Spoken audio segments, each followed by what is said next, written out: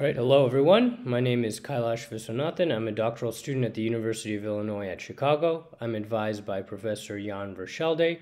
Our talk today is about phcpack.jl, solving polynomial systems via homotopy continuation. And the source code to our interface is shown at the top of this uh, slide on the GitHub link. Okay, so what exactly is homotopy continuation? So let's motivate this by discussing an existing Julia package that uh, solved this problem, homotopycontinuation.jl. And this is a package for the numerical solution of systems of polynomial equations. So it does this via continuation, so we'll discuss continuation here. So homotopy continuation methods are symbolic numeric methods and they embed the system to be solved in a algebraic homotopy. Um, so that is a relationship between two different systems, right? So we have a start system whose solutions we know or we can easily compute, and we have a target system whose solutions we desire, right? And the two systems are algebraically related via this homotopy. And so if um, if the properties are such and the start system is designed with appropriate properties, we can actually track each isolated solution of our start system to the corresponding solution of our target system. And um, we use Newton's method to, to actually track these paths. So you may recall from uh, linear algebra, Newton's method is a method for solving nonlinear equations, but the key with Newton's method is that you need a good guess. So your initial guess has to be very close or fairly close to your actual solution, and then, then only can you iteratively update the guess to obtain your solution. So with a generic polynomial system, you may not have that good guess. You may not have that, so that's why continuation methods are an appropriate means to solve the problem. So phcpack.julia is an interface to the PHC uh, pack uh, software, which has been around for a long time. And it has lots of algorithms and black box solvers and um, homotopies um, that we can design for our systems.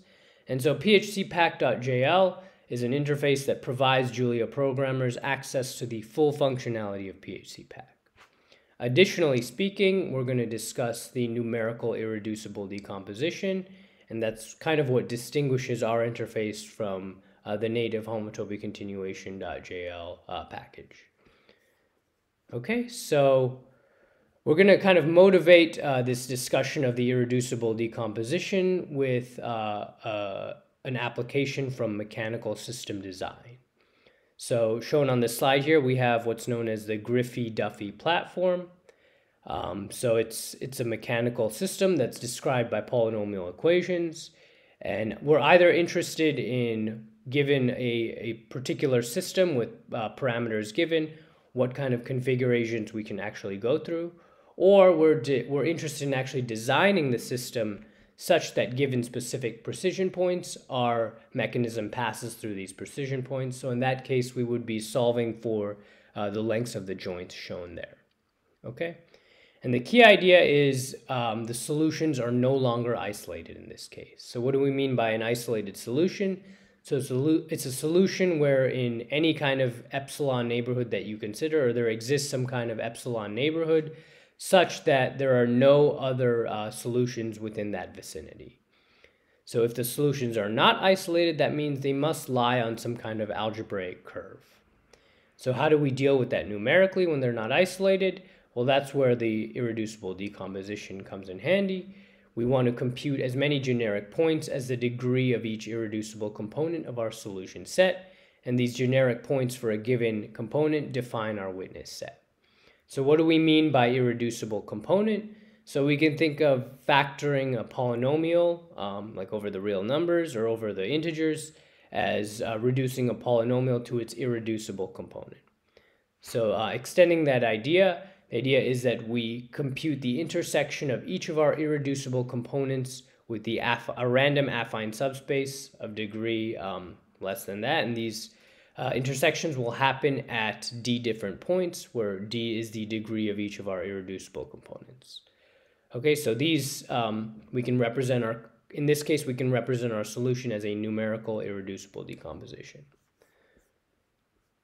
All right, so um, let's finally uh, discuss the two interface options that we provide here.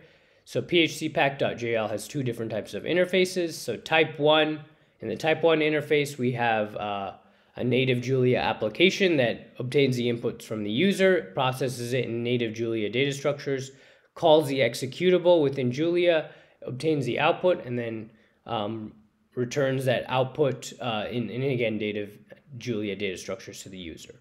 That's our type 1 interface. Our type 2 interface, we actually call the relevant functions from a shared object file. And so the, the advantage of this is that it is platform dependent. So this type 2 interface actually makes use of the C interface. So PHC pack is written in Ada, so Ada may not be accessible to a lot of programmers, so there's also a good C interface, and the good thing about C is that it acts as kind of a least common multiple between other languages that interface well uh, with C. So in this case, unlike our type 1 interface, um, most of the of the function calls are re relinquished to the C interface. So the, the unlike type 1 interface where we um, process the input and obtain the output in Julia data structures, the C interface sort of does all the heavy lifting. So if you're interested in how this interface works, uh, I suggest you look at the reference or you visit the, uh, encourage you to visit the GitHub site um, whose link is shown at the top. So we'll note that phcpack.julia is still a work in progress. Okay, so thank you for your time, and I look forward to any questions you may have. Thanks.